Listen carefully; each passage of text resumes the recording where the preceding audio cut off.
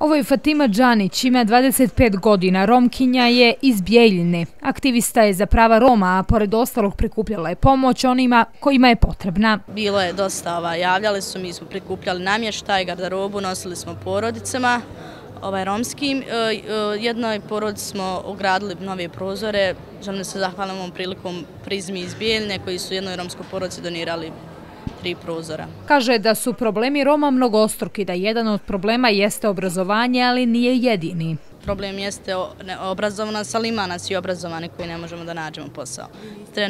Nisam zaposlana u struci, zaposlana sam u nevladnoj organizaciji. Aktivista Ševko Bajić kaže da je svaki segment romskog društva ranjiv, a da je liječenje tih rana kompleksno. Imamo tri konstitutivna naroda i ostale kad ste ostali, vrlo je lako biti nevidljiv. Vi imate još uvijek romskih naselja gdje ne postoji struja, gdje ne postoji e, sistem odvoda otpadnih voda, gdje ne postoji odvod smeća, e, gdje ljudi žive u barakama koje nisu dostojne ni, ni, ni, ni životinskog svijeta, kamoli ljudskog bića. Posao nije završen ni kada Romi dobiju krov nad glavom.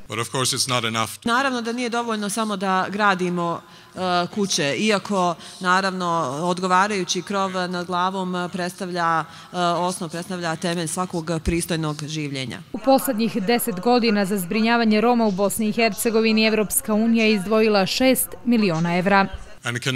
Ne može se sva pomoć e, očekivati od e, Evropske unije. Potrebno je i da domaće vlasti također pruže svoju podršku u drugim oblastima, poput podrške kod zapošljavanja, obrazovanja, zdravstvenih usluga za Rome. Šef delegacije Evropske unije još je poručio da su zakonska rješenja u zemlji kada je spriječavanje diskriminacije u pitanju dobra, ali da te zakone treba implementirati.